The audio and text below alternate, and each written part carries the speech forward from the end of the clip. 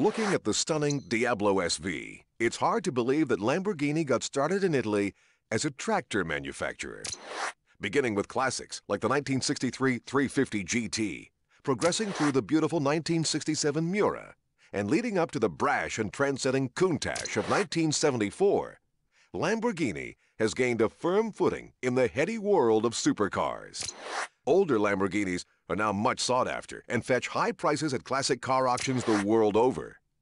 Built from steel tubing, aluminum alloy, and light, strong carbon fiber, the SV uses one of Lamborghini's superb 5.7-liter V12 power plants with a stirring 529 horsepower on tap. Semi-active suspension makes for very nimble handling, and the SV's disc brakes are similar to those used on Formula One race cars. Inside the low-slung Lamborghini, driver and passenger get hip-hugging race-style seats, and the dash is trimmed in luxurious suede. Visibility is better than might be expected in such an exotic car, and the mechanical symphony from the SV's mid-mounted engine is guaranteed to delight any lover of things automotive.